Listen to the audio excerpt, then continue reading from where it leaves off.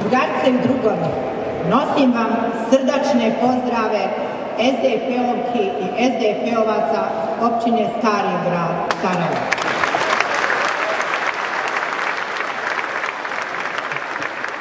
Pripreme za predstojeće lokalne izbore u Bosni i Hercegovini odvijaju se u izuzetno teškoj društveno-političkoj i ekonomskoj situaciji. Trenutne negativne tenzije na skoro svim nivoima vlasti posljedice su 17-godišnje vladavine nacionalnih stranaka i njihove nespremnosti da se odreknu tog retrogradnog koncepta.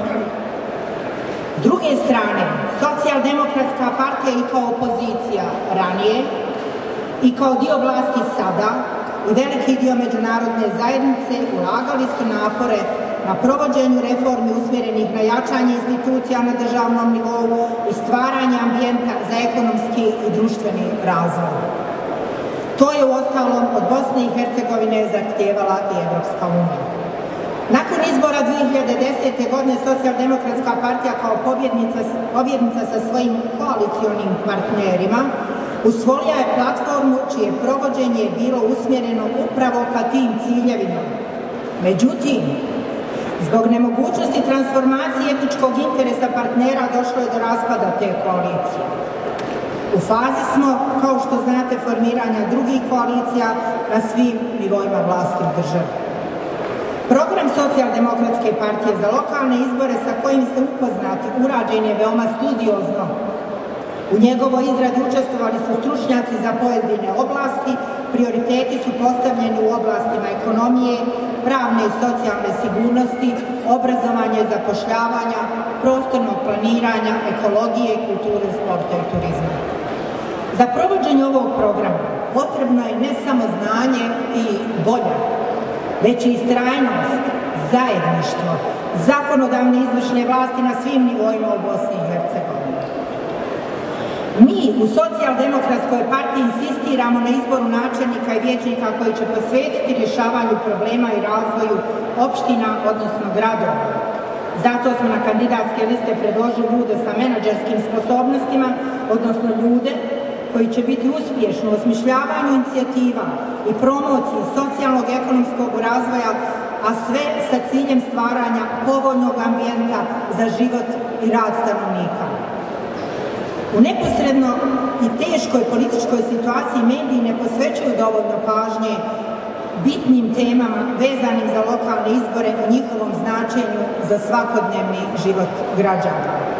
Zato ovdje danas želim istaći ostvarene rezultate i napredak u procesu vraćanja uskraćenog prava na lokalnu samoupravu građanima grada Sarajeva, kao i važnost daljeg istrajavanja izabranih predstavnika socijaldemokratske partije u organima grada Sarajeva na ovom putu.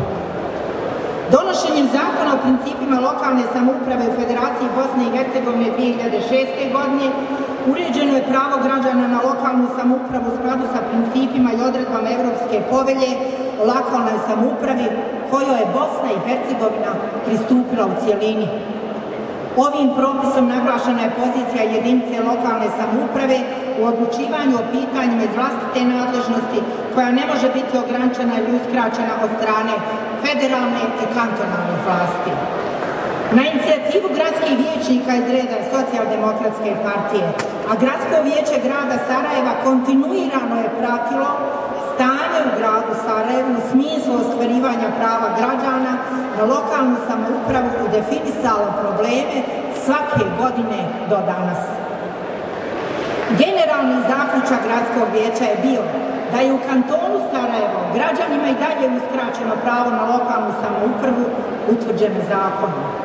Putem svojih zaključaka Gradsko vijeće uključivalo inicijative nadležnim organima za sistemsko rješavanje problema lokalne samouprave u kantonu Sarajevo, međutim bez rezultata. Poslije lokalnih izbora 2008. godine i formiranja nove gradske vlasti, gradonačelnik grada Sarajeva, gospodin Alija Behmen, je konačno podnio tužbu koja je oktobra 2010. godine rezultirala djelimičnom presudom Ustavnog suda Bosne i Hercegovine koja je utvrđena povreda prava grada Sarajeva na lokalnu samoupravu. Tako je sud naložio kantonu Sarajevo da u roku šest mjeseci od objavljivanja presude uskladi osporene zakone sa ovom presudom.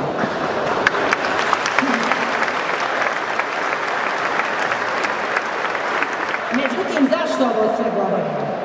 Značajan pomak je uslijedio tek od formiranja vlasti u kantonu Sarajevo posle općih izbora 2010. od kada se pristupilo sistemskom rješavanju problema zahvaljujući angažmanu predstavnika socijaldemokratske partije.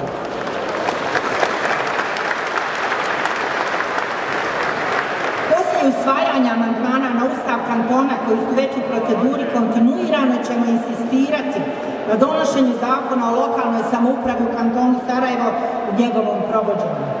Socijaldemokratska partija sa svojim inoviranim programom nudi viziju izlaska iz teške situacije sa ciljem izgradnje demokratske države po evropskim standardima u Evropskoj uniji i istrajeće na tome kao što istrajava i na iznesenom primjeru. Očekujem da će građani prepoznati vrijednosti u programu socijaldemokratske partije.